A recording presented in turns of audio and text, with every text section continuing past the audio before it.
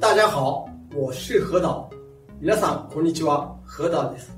今回から新義船経験の基本権、五行船五行圏の個々の圏の全体動作を学んできます。今回は P 船について。那么现在开始吧。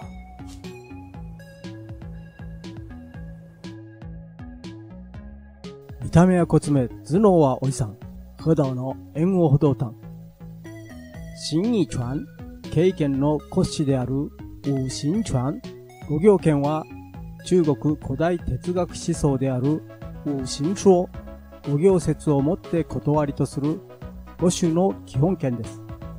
今回はその五行船第一の圏、P 船、壁圏について、古憲譜に P 船、壁圏は五行の断りにおいて金に属し、区内にあっては灰に属す、剣にありては壁となす。その形は斧に似て物を割る意味がある。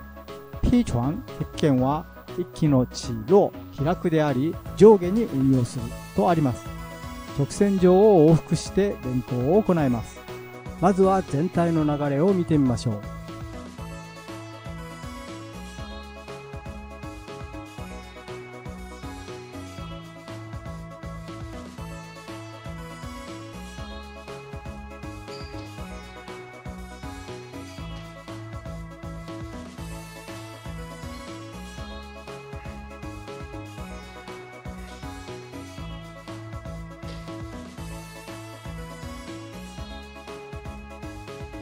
それでは解説していきます。進行方向に向かい自然に立ちます。両足のかかとをつけ、つま先を外に90度開き、目は水平に前方を見ます。目線はそのままに左足のかかとを軸として、右に45度動かし、同時に体を半分右に向けて回します。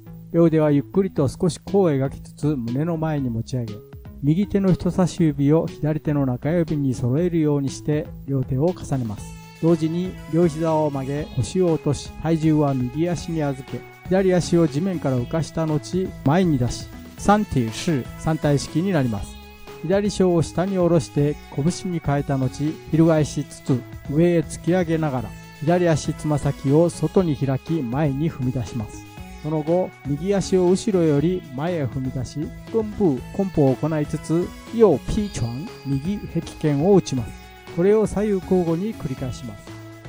左 P 拳、左壁剣を打った後、左足つま先をかかとを軸にして内に入れ、左小を下に落とし拳に変え、右小もこれにつれて拳に変えます。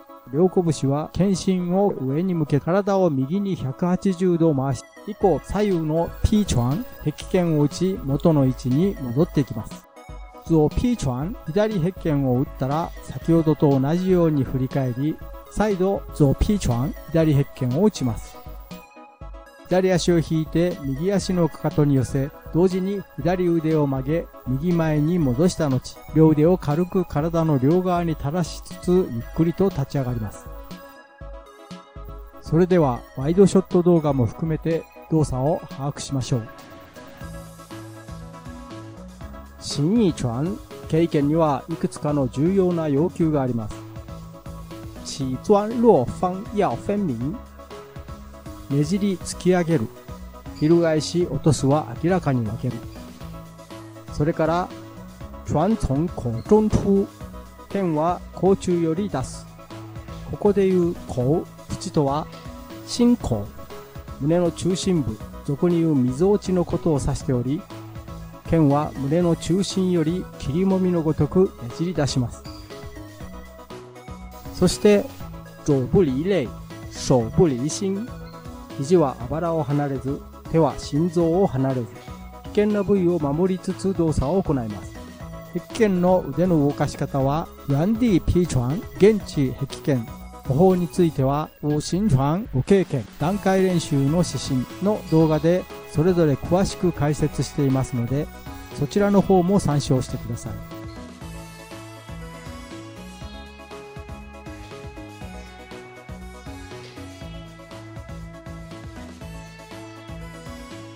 初心者の間はしっかりと驾驶、加式、加勢を守り、ゆっくりと動作を行ってください。熟練していくに従って少しずつ滑らかに連動させていきます。スピードとチン、力を乗せていきます。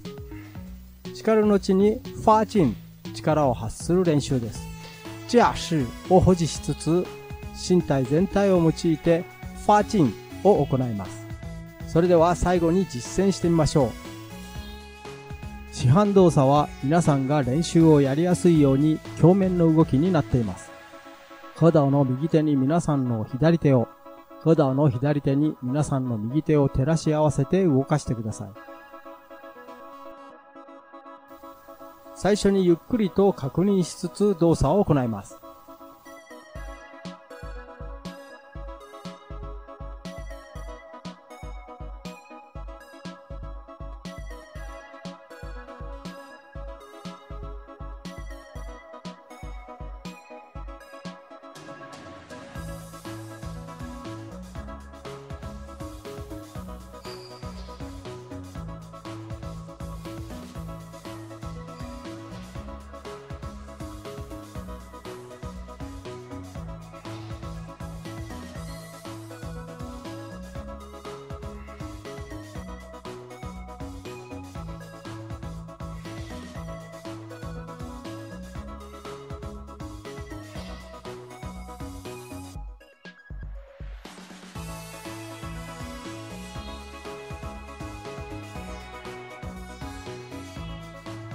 それでは最後に通常速度でやってみましょう。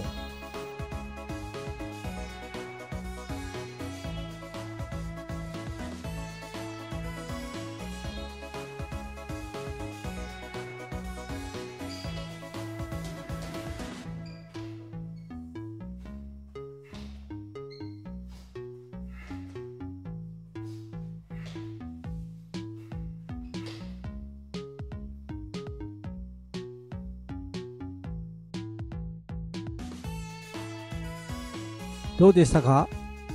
新ニー経験はすべてにおいて動作がシンプルであるがゆえに、功を急ぐと往々にして手先のみの動きになってしまいがちです。そうならないためにも地道に練習をしていきましょう。次回は実践編です。解説編で動作を覚えた後は実践編で動画を見ながら繰り返し練習をしましょう。継続は力なりです。それでは今回はこの辺で。下次再见。